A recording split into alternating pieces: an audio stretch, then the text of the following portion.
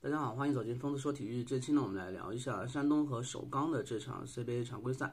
啊，这一场比赛对于山东来说是非常重要的，因为他们如果输掉这场比赛，他们进军季后赛的希望啊就会比较渺茫。必须呃要把主动权掌握在自己手里，战胜首钢啊，他们才有很大的几率进军季后赛。首钢呢，目前联赛排名第七，呃，如果再输给山东的话。呃，也不会影响他的排名，因为他和第八名广州队，呃，如果胜场相同，呃，那么呃，根据战绩的话，双方战绩还是北京首钢占优，所以呢，北京首钢这场还是有放水的可能。呃，那么山东队呢，呃，据说这场比赛是必须呃要全力以赴拿下的。呃，陶汉林在受伤之后，在这场比赛也是有消息说要复出，呃，这是对于徐昌所的一个考验。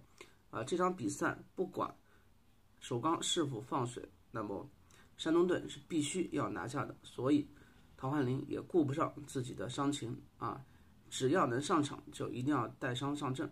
啊，上阵之后肯定可以给山东更多的帮助。毕竟一个赛季的努力啊，就靠这最后两场球。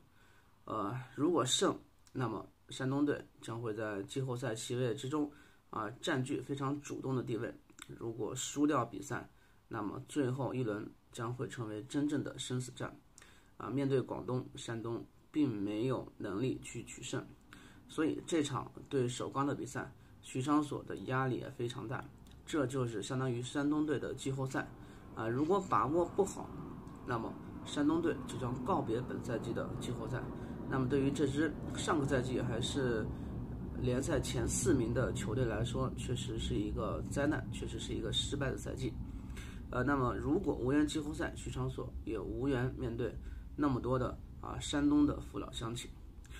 所以呢，这场比赛我们期待山东队能够打出一场高效的比赛，能够啊顺利的战胜首钢队。好了，这期话题我们就聊到这里，我们下期再见，拜拜。